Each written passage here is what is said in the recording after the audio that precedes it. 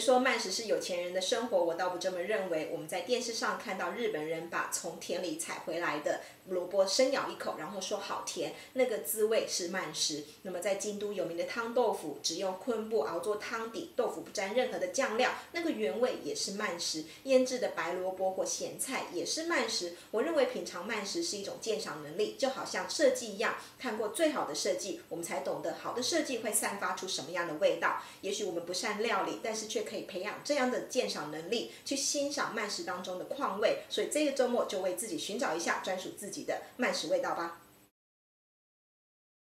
最近看了一部日剧《Osen 料理先机》，讲的是在方便的日本，什么都有，不需要下厨就有东西可以吃，只要微波一下，连盘子、筷子、洗碗什么都省下来了。可是却还有一家近百年的料理亭，愿意花时间一个步骤一个步骤的做好日本料理。那么连做味增汤的味增都要一个豆子一个豆子的挑选。那么里面有个故事是讲一个企业家带小朋友来吃饭，那么呃女主人端端出这些料理的时候，那个小孩子说啊这些。料理都没有味道，于是就拿出番茄酱加在每一道菜上面。那么女主人真的吓一大跳，而且觉得很可惜，这个小孩子将会永远不知道啊生鱼片的鲜美。那么我想慢食里面所说的味觉教育，指的就是这个吧。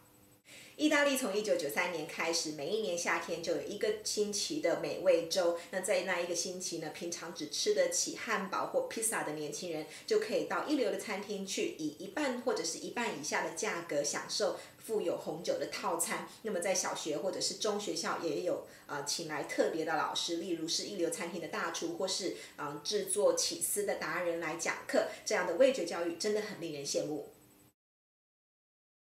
Slow food movement 慢食运动来自意大利，它最主要有三个目的。第一个是保持食物的传统及多样性，那么透过慢食，希望让我们能够了解跟享受每一个地方独特的饮食文化，并且保护这些食物的传统及它的生态。那么连锁店呢，只会让食物统一化，而且减少它的趣味性。慢食的第二个目的是连接生产者跟消费者，嗯，提供一个好素材的生产者，如果拥有懂得欣赏的消费者的话，就能够继续经营下去，并且将传统的制法传承下去。嗯，只有让消费者了解食物背后所花费的人力、精神还有时间，以及更重要的文化价值，才能够真的去接受真正的合理价格。慢食的第三个目的是味觉教育，培养对食材还有烹饪的感性知识，透过食物的美味刺激五感及好奇心。因此，对于五感正处于发育期的小朋友来说，味觉教育是不可或缺的。